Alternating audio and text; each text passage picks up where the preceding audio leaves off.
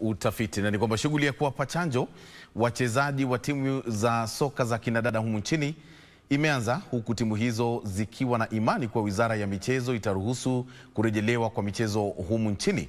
Michezo yote hapa nchini Kenya ilisitishwa mwezi uliopita baada ya kuripotiwa kwa visa vingi vya maambukizi ya virusi vya COVID-19.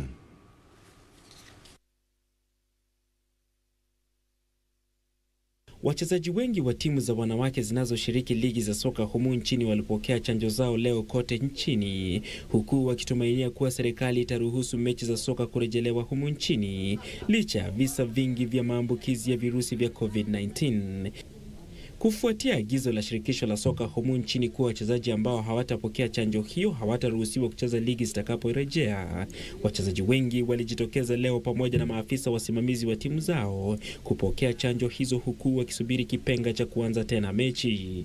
Kumekuwa na challenges mingi ever since covid ianze, juu sports inafungwa, tuna lose fitness, tuna train less days but at least sahii venye tumepata hii vaccine kuna hopes vitu zitarudi vizuri very soon. Sisi kama players tunaumia like hii football is everything to us you know? and most of, most of uh, footballers hawana kitu kingine yenye wanategemea tu, ni football tu tunategemea, so mi nataka iende kwa gavai like wafungue like sisi kama players tunaumia.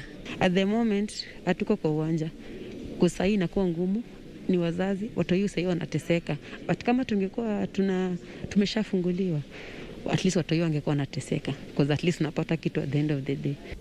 Vihiga Queens, Kayole Stales na Gaspo FC ni baadhi ya timu zilizopokea chanjo leo, wote wakiisii serikali kuwaruhusu kurejea uwanjani.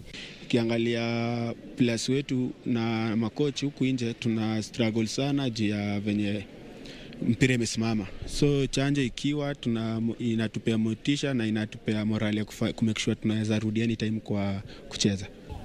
Covid imeaffect sana sana sisi wana sports pakubwa sana.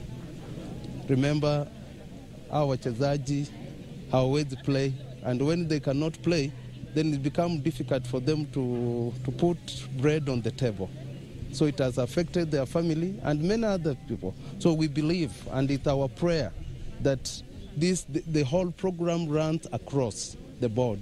Ligi za kinadada zilisimamishwa baada ya raundi ya saba ya mechi huku zikiwa zimechelewa kuanza pia kwa sababu ya virusi vya korona.